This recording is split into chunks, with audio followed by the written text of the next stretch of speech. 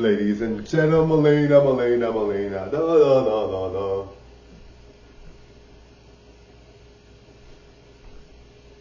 Alright guys, now the Pussycat Dolls, the ex-Pussycat Dolls performer was talking about how they really had her lined up to do a solo album. Now, I find that, you know, some of these stories that they talk about where they deal with hardships or whatever, and they have a hard time, whatever, we find that sometimes they say something in there that leads to a future thing that comes out, and they surprise us with like an album or something, right?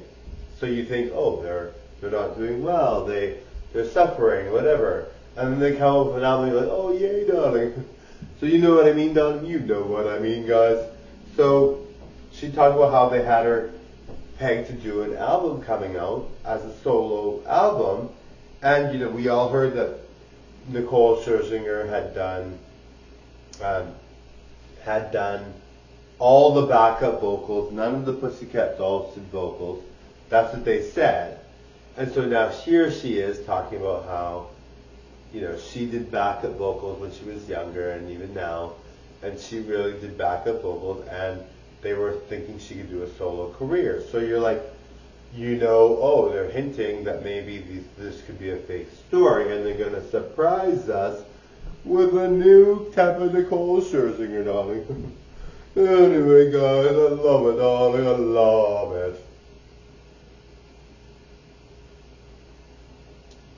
Now, guys, we sometimes think of, of, of, these things like, oh, you know, they're saying these things, it could be awful, whatever you might think. But then you're like really pleasantly surprised by what they come out with. Like, Celine Dion had said she was dealing with a major issue, health issue, and then she comes out with a song. So I think you know someone as good as Celine Dion is bringing up the fact that she's got this health issue and she recovers to sing an album or a song because she's just a great starlet that wants everyone to be shocked and be happy that she's done something great and we're all happy for her. You know, I always used to take it very negative. I'd be like, I'd be like, oh no, she's gonna, she's saying this, this is true? You know, I'd be really wrapped up in it.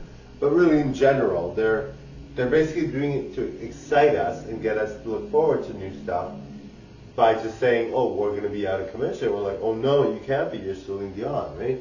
And then you hear they come out with an album, and it's like, yes, yes, yes, darling. Celine Dion is one of my favorite performers, right? Anyway, totally enjoy the show, guys. Totally enjoy the show. I'm leaving, darling. Bye, Michael. Wait, darling. Get go,